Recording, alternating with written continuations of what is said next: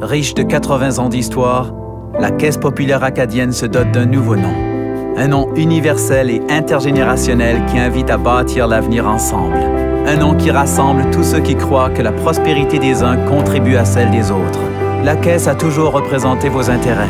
Dès le 30 mai, pour mieux regrouper tous ceux qui croient à la coopération et au partage, la Caisse s'appellera UNI. UNI, coopération financière.